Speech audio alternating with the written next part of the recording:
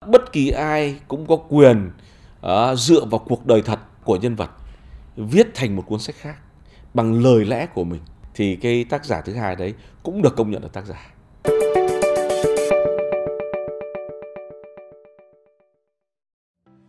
Với kinh nghiệm hơn 30 năm trong lĩnh vực sở hữu trí tuệ, luật sư Toàn hiện là cố vấn của nhiều CEO và doanh nghiệp tại Việt Nam, các thương hiệu hàng đầu tại Việt Nam và trên thế giới.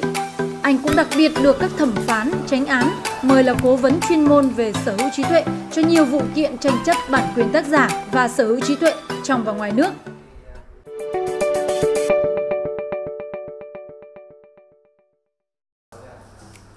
Thanh Hải TV sẽ tiếp tục có những video tiếp theo chia sẻ về vấn đề sở hữu trí tuệ mà nhiều người quan tâm dưới góc nhìn của vị luật sư này.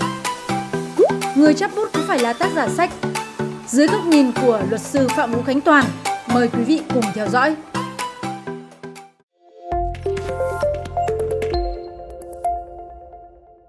người mà chấp bút thực hiện viết về nhân vật thì họ là tác giả hay họ là một người chấp bút? Chấp bút là được hiểu như thế nào theo quy định của luật sở hữu trí tuệ? Thế ở đây chúng ta phải phân biệt. Thứ nhất là có một nhân vật. Nhân vật này có một cuộc đời rất thú vị. Nhà xuất bản thì đặt hàng để viết câu chuyện về cuộc đời của anh ta thế thì cuộc đời của anh ta ấy, là một loạt các cái sự kiện cái gọi là tác phẩm ấy, thì nó phải là cái sáng tạo.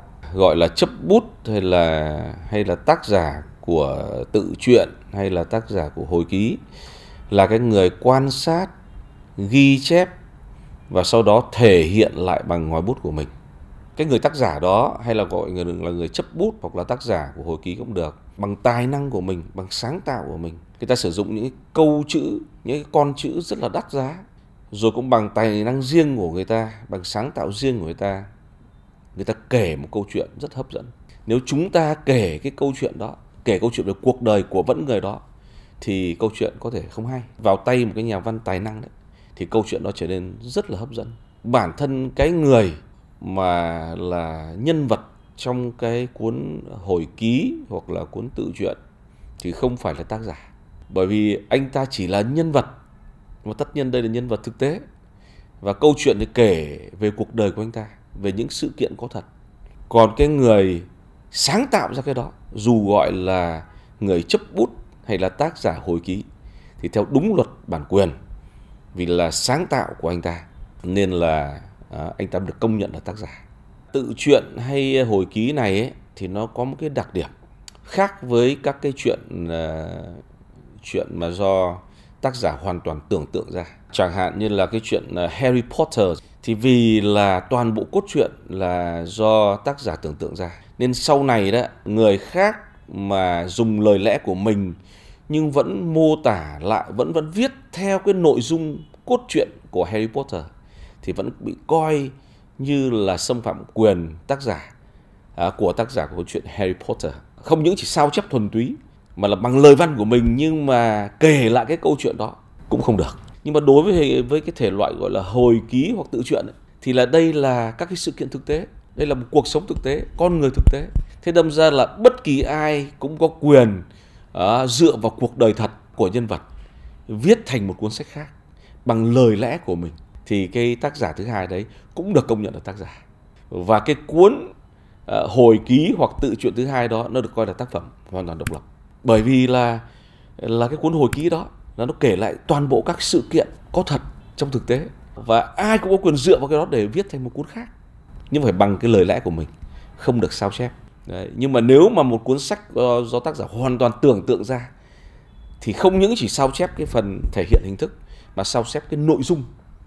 Dùng lời lẽ của mình như thuật lại cái nội dung như vậy thì cũng không được. Có cái khác biệt giữa cái cái thể loại hồi ký tự truyện với cả các cái ờ, tác phẩm mà do tác giả tự tưởng tượng ra là như vậy. Luật sư Phạm Vũ Khánh Toàn, sinh năm 1961, hiện là trưởng văn phòng luật sư Phạm và Liên danh. Anh là một trong những chuyên gia hàng đầu về luật sở hữu trí tuệ tại Việt Nam. Là luật sư uy tín, được hầu hết các thương hiệu lớn hàng đầu của Việt Nam và thương hiệu trên thế giới tại Việt Nam chọn là luật sư và đơn vị đại diện bảo vệ sở hữu trí tuệ, đăng ký nhãn hiệu hàng hóa tại Việt Nam và tại nhiều quốc gia trên thế giới. Anh sử dụng thành thạo hai ngoại ngữ chuyên sâu về ngành luật là tiếng Anh và tiếng Nga, học vấn, cử nhân vật lý, thạc sĩ chuyên ngành luật sở hữu trí tuệ. từng tham gia học bổng ngắn hạn tại Yale World Fellow, trường đại học Yale của Mỹ. Từ năm 1988, anh là luật sư chuyên về sở hữu công nghiệp của Việt Nam. Từng công tác tại Cục Sở hữu trí tuệ của Bộ Khoa học Công nghệ. Từ năm 1991, anh là trưởng văn phòng luật sư phạm và liên danh. Anh là trọng tài viên của VIAS, Trung tâm Trọng tài Quốc tế Việt Nam. Gọi là người chấp bút cũng được, hoặc là gọi tác giả hồi ký cũng được, theo đúng luật thì phải được công nhận là tác giả bởi vì à, người ta dùng cái năng lực sáng tạo của người ta để kể một câu chuyện rất là hay mà người khác có khi không làm được câu chuyện như vậy nhân vật chỉ là nhân vật đó và cái cuộc sống thực tế của anh ta gồm có rất nhiều các hiện các sự kiện thực tế. Tác giả là người quan sát rồi dùng cái lời văn của mình cái sáng tạo của mình để kể lại sao cho nó hấp dẫn. Thế còn ờ, cái, cái câu chuyện cuộc đời của cái anh kia thì sẽ có rất nhiều người quan sát. Có thể là nhà báo quan sát có thể là người thân quan sát có thể là bạn bè quan sát. Mỗi người dưới lăng kính của mình lại kể lại một câu chuyện. Sau đó có một người tập hợp lại hết tất cả đó lại viết thành một câu chuyện riêng. Ngay cả nhân vật chính cũng không có quyền cấm người khác viết về mình bất kỳ một nhà văn nào có quyền tập hợp lại tất cả cái đó vì cái là sự kiện thực tế. Trừ những về rất riêng tư mà không được sự đồng ý. Còn những cái mà đã được đăng trên báo chí rồi, đã công khai rồi thì người ta chỉ việc ừ, tập hợp lại và ta kể lại bằng giọng văn của người ta. Ngay cả nhân vật cũng không có quyền cấm. Trừ khi là nhân vật tiết lộ với người đó và với điều kiện là không được ờ, đưa ra công khai. Nhân vật chỉ là nhân vật. Trừ trường hợp như thế này thì nhân vật trở thành là tác giả nhân vật nói là à đây cô thư ký này nhé bây giờ tôi kể câu chuyện này là phải chép thật đúng của tôi. Tôi chỉ chấp nhận là có thể sai, là và thì là dấu chấm dấu phẩy thôi. Thế còn thì toàn bộ lời, nội dung cũng như là câu chữ là phải trung thành đánh. Tức là cô đóng vai trò như thư ký, cô đánh máy lại. Cô ngồi vi tính ờ, tôi đọc đến đâu cô đánh tới đấy. Thì tôi chỉ chấp nhận những lỗi rất nhỏ. Thì về sau sẽ có người biên tập. Đó, thì trong trường hợp đấy thì là vì là toàn bộ cái lời văn là do tôi kể. Cô chỉ thuần túy là người đánh máy. Thì trong trường hợp đấy tôi mới là tác giả. Vậy thực tế hiện nay là có một cái loại hình dịch vụ xuất hiện ở Việt Nam là họ làm cái công việc đấy để hưởng thù lao. Và chúng ta à, đứng tên là đồng tác giả cùng hưởng nhuận bút về sau này. Thì như vậy thì nó có đúng luật hay không? Ờ, luật bản quyền tác giả quy định rất rõ.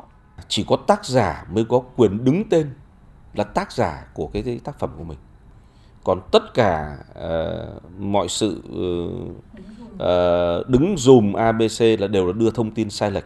Và theo đúng uh, luật bản quyền là không được công nhận. Quyền nhân thân là cái quyền đứng tên là là tác giả của cuốn sách ấy, là quyền không thể chuyển nhượng theo đúng quy định của pháp luật dân sự cũng như luật bản quyền. Tác giả có có có có muốn lắm bằng ý chí của tác giả muốn chuyển nhượng lắm cũng không chuyển nhượng được. Bởi vì như vậy sẽ lừa dối xã hội trong các quyền nhân thân của tác giả trừ cái quyền công bố tác phẩm còn lại tất cả các quyền khác trong đấy có cái quyền đứng tên là tác giả của tác phẩm thì không thể được chuyển giao anh đồng ý cho em đứng tên tác giả cũng không được luôn Cùng với các luật sư của văn phòng Phạm và Liên danh, luật sư Toàn từng tham gia nhiều vụ kiện cho các bên nguyên đơn và bị đơn của nhiều thương hiệu nổi tiếng trong và ngoài nước. Trong đó có các thương hiệu của Việt Nam có nguy cơ bị mất trắng trên thị trường quốc tế, thậm chí có thể phải bồi thường rất nhiều tiền cho phía nước ngoài, nhưng đã được luật sư Toàn và văn phòng Phạm và Liên danh bảo vệ thành công. Đáng kể như vụ kiện thương hiệu võng xếp Duy Lợi, dầu gội X-Men, cà phê Buôn Mê Thuột, một thương hiệu được cấp chỉ dẫn địa lý của Việt Nam, từng bị doanh nghiệp tại Trung Quốc sử dụng và chiếm hữu. Hay là những vụ tranh chấp bản quyền tác giả nổi tiếng như vụ kiện của tác giả họa sĩ Lê Linh đối với công ty Phan Thị về bộ truyện tranh Thần Đồng Đất Việt. Vụ kiện đã kéo dài 12 năm và họa sĩ Lê Linh đã thắng kiện vào tháng 9 năm 2019. Nhiều vụ kiện về bản quyền tác giả và thương hiệu, nhãn hiệu hàng hóa và sáng chế kéo dài nhiều năm, ảnh hưởng ở phạm vi nhiều quốc gia nhưng luật sư Toàn cùng các cộng sự đều bảo vệ thành công. Tuy nhiên, hiện nay tại Việt Nam còn nhiều thương hiệu của Việt Nam bị bỏ lơ mà theo luật sư Phạm Vũ Khánh Toàn là vô cùng đáng tiếc. Đến khi bị xâm phạm quyền sở hữu trí tuệ thì đòi lại được thì cũng rất gian nan. Ví dụ như thương hiệu gạo ngon nhất thế giới ST25 của Việt Nam, sau khi được vinh danh tại một trong những cuộc thi gạo ngon nhất thế giới thì lại bị một doanh nghiệp tại Mỹ nhanh tay đăng ký thương hiệu độc quyền trên toàn thế giới